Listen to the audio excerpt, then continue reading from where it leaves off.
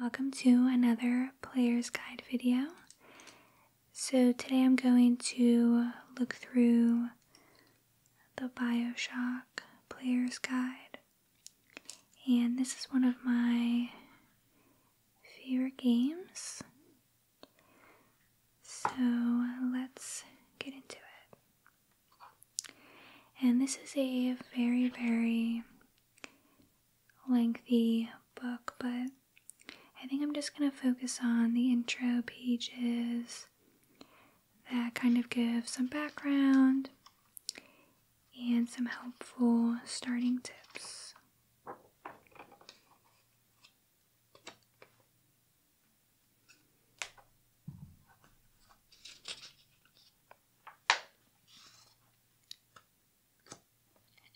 Alright, so we're going to start off with Residents of Rapture. And I should actually start by saying this game is a first person shooter and it's a very unique setting, which you'll find out more about. But let's go through some of the characters. And also, the city that it's based in, which is Rapture, is completely underwater. Alright, so Andrew Ryan is the man behind Rapture. It was his vision to build a city where government, religion, and morality would not interfere with the advancement of science and art. Rapture was his dream, he chose the location carefully, and by tremendous will and hard work, he made it a reality. And then Atlas is kind of the narrator that you'll hear throughout the story. Although his disgust with Andrew Ryan is evident, it seems as if his hatred for the man is deserved. Atlas is your guide over the radio for much of your time in Rapture. Then Tenenbaum. She is actually a scientist. Dr. Tenenbaum was the scientist who recognized that a particular sea slug was the source of all Adam and developed it into something usable. She collaborated with Dr. Suchong to create the Little Sister Project, which gave female children the ability to harvest Adam from angels. So, not much of this will make sense right now, but basically, just remember she is a scientist who helped create the Little Sisters. Now, splicers are next, and they are the enemy that you will see running around in Bioshock. So, as it kind of says here, they used to be normal men and women, but they started using Adam. At first, they looked at Adam as purely a means to an end, a way to work harder, to improve their strength, or perhaps even look a little younger. But things didn't pan out the way they expected. So, yeah, Adam is obviously very addictive and it kind of makes normal people into these splicers. So there's different types. The first one is a thuggish splicer, the most common type and the weakest. And then a leadhead splicer a nitro splicer, a spider splicer, a Houdini splicer,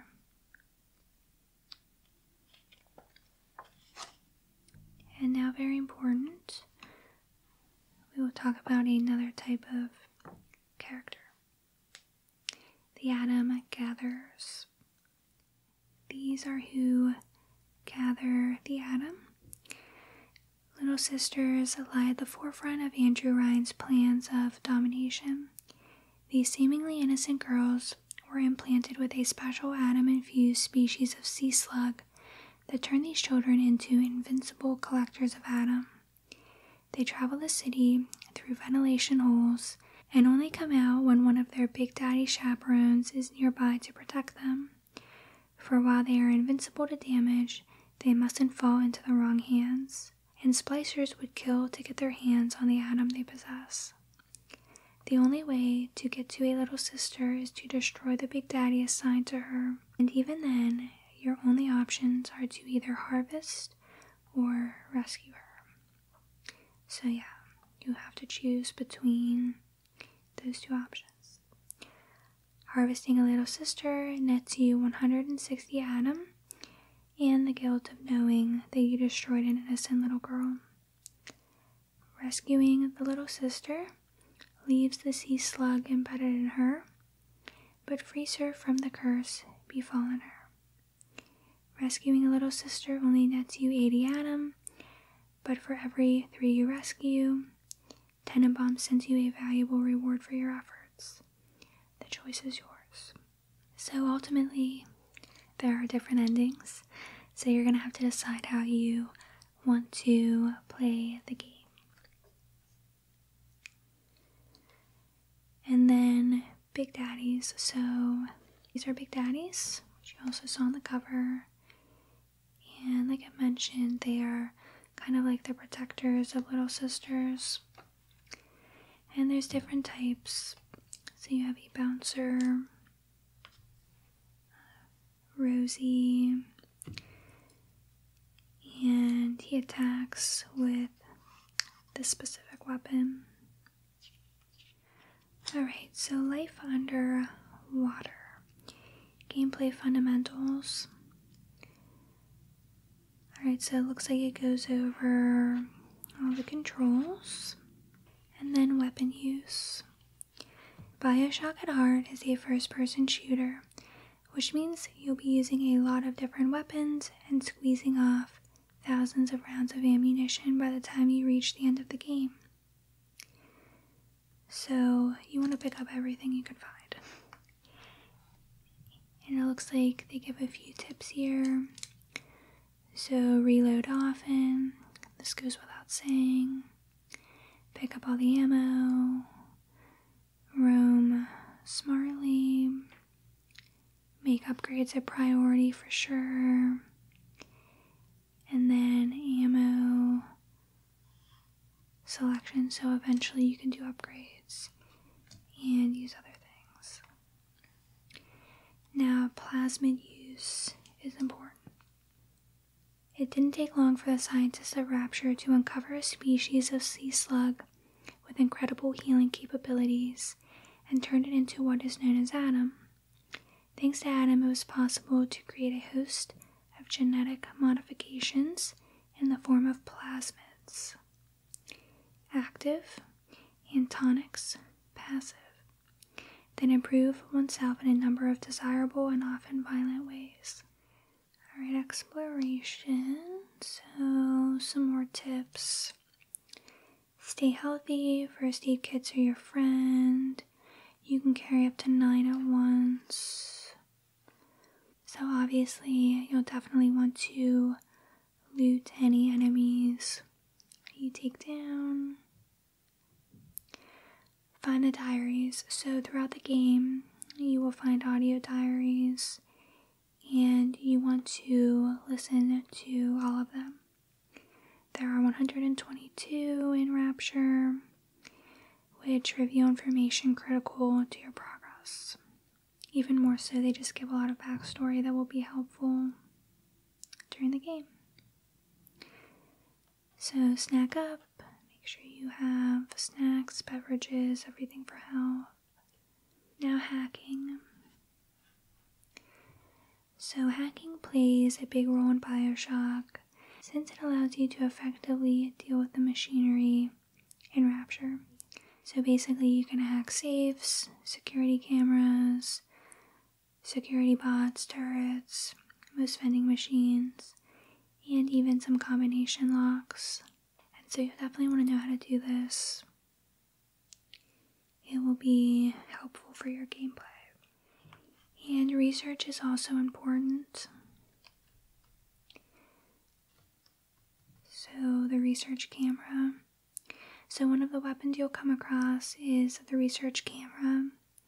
Although it doesn't deal direct damage to enemies, it is one of the most devastating tools in your possession. Use the research camera to take photos of enemies to earn research bonuses, Each time you reach a new bonus level, you'll gain an advantage over that enemy. So sometimes you'll get boosts, tactical advantages, or even hidden tonics. So definitely do that. And then you'll come across a lot of vending machines as you play the game. The Circus of Values is one of the common ones, and you'll find a lot of different things. So, first aid kits, of course, are very helpful, ammunition. But keep in mind, you can find a lot of stuff too. So, make sure again you're constantly picking up items as you play the game. And that's what it kind of says here. Don't spend a penny on ammunition until you make sure you have at least seven or eight first aid kits and Eve hypos. There is plenty of ammunition to be found in the environment, and it's highly unlikely that you'll ever run out completely. On the other hand, you'll need health to stay alive. So, yeah, that's a really good tip.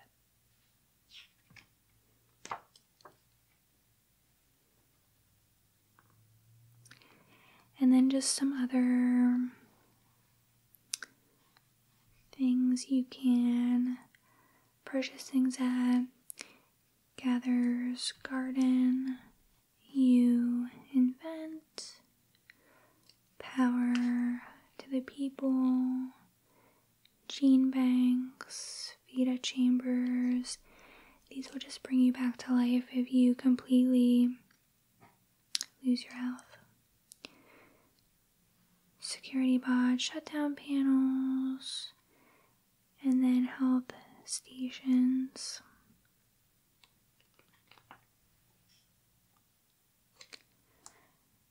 Okay, and now we're on the most important part, I'd say arm yourself.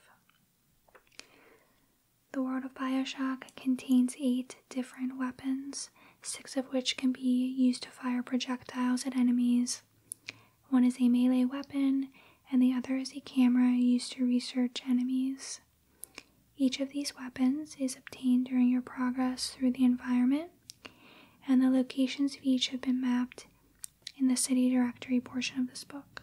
The City of Rapture is filled with enemies that drop weapons and can be collected to replenish your ammo supplies. Additionally, there are many containers that can be looted to gather up an army's worth of ammunition. Lastly, ammunition can be obtained through the many vending machines located in Rapture, which is what we just talked about.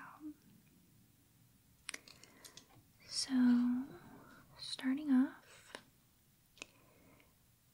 and it looks like they put them in order in which you'll find them. So, the first one is the wrench. So, not the greatest weapon, but that's how you're going to start off. And then the pistol is next. And there's also obviously going to be options for weapon upgrades as well. Then a machine gun.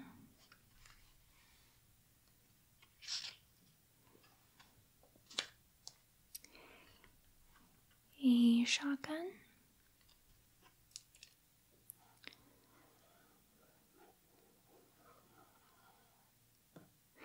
it just goes over the different ammunition options.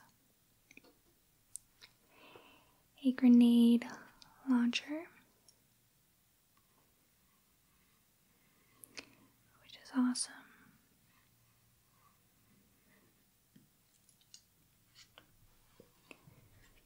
And what else? The research camera, which we talked about. And then the chemical which is cool because it can actually obviously throw chemicals at your enemies, so burn, freeze, or electrocute.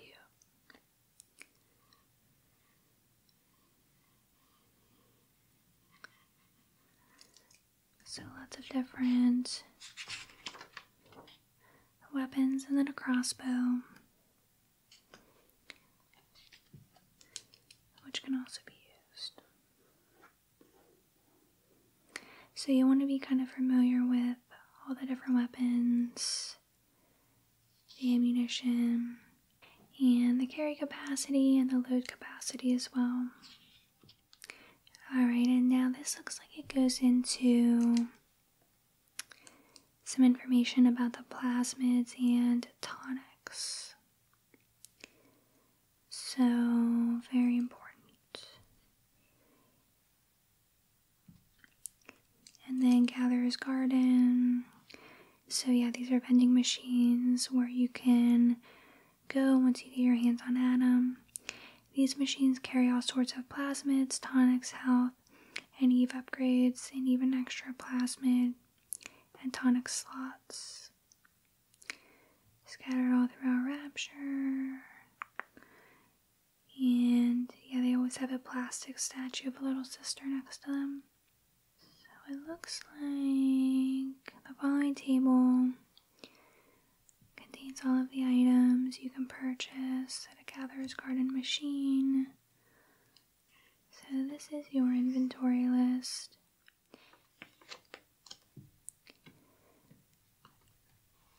So plasmids. Plasmids are genetic alterations that not only consume Eve with each use, but require active participation on your part. Skilled collection and the use of the many plasmids that exist in Rapture is paramount to your survival. While there is no denying the awesome firepower that is available for the experienced triggerman, guns alone won't bring success in Rapture. So, yeah, using your right hand for weaponry, you'll come to rely heavily on the left hand as well, and that's where you will use your plasmid attacks. So, there's a lot of different types, and here are some of the better ones. So, Cyclone Trap is one, allows you to set a trap for enemies as they run toward you.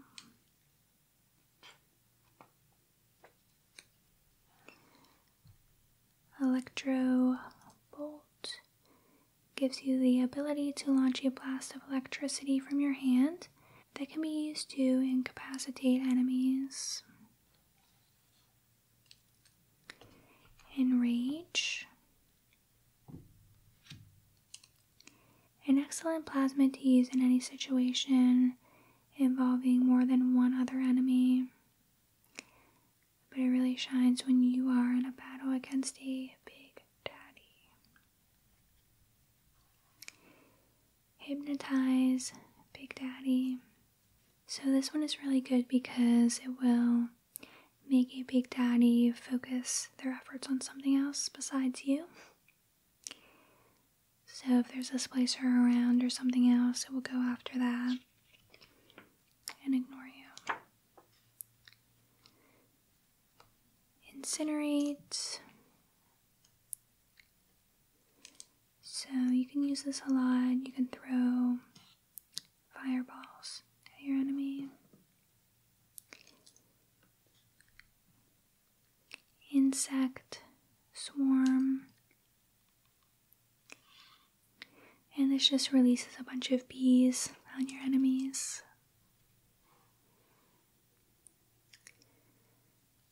Security bullseye. See an enemy near some unhacked security cameras or turrets. If so, hit them with security bullseye to make the security system turn on the ones it's supposed to protect. So that's really helpful. Target dummies. The target dummy will lure the enemy's attacks away from you.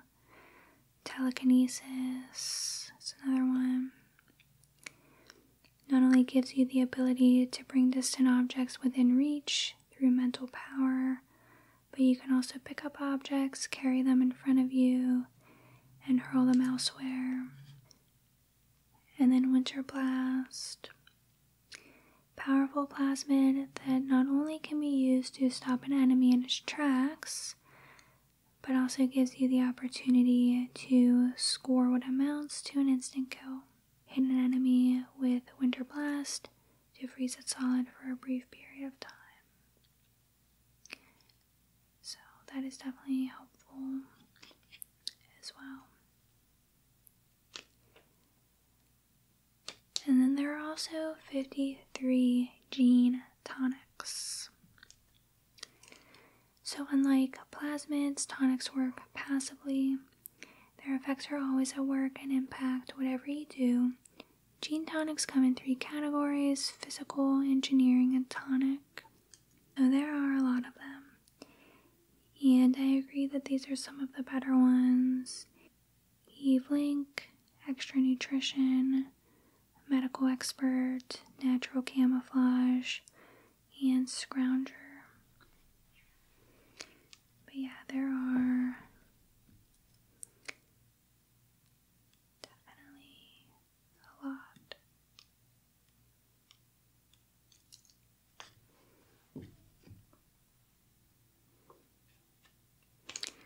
So 53 total.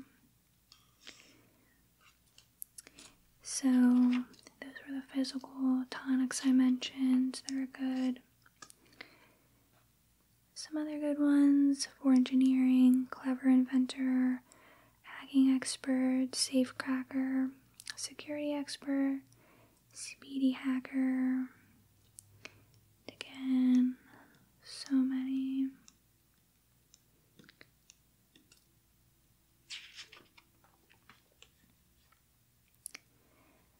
Okay, then combat tonics. Some good ones Armored Shell, Damage Research, Human Inferno, Photographer's Eye, Static Discharge.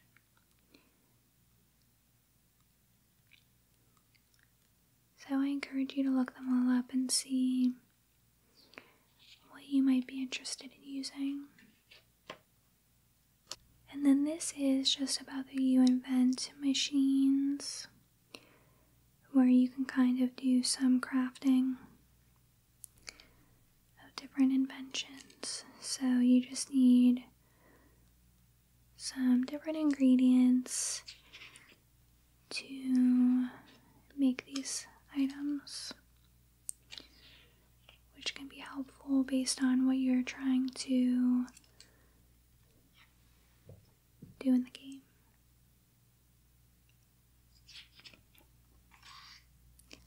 And then the story begins. So, welcome to Rapture.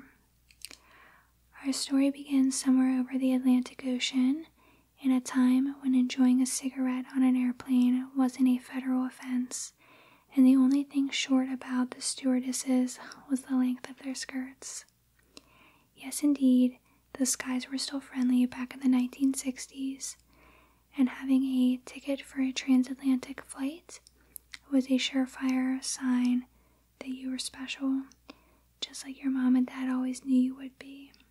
Of course, the problem with believing that you are destined for greatness is that sometimes you have to prove it. For the nondescript everyman occupying seat 11C, that time is now. Jack has no idea what is in store for him in the coming moments, but his plane is about to crash, and he's going to be the only survivor. The choices he makes in the hours following the crash will cause far reaching effects in a world he knows nothing about. That world is rapture.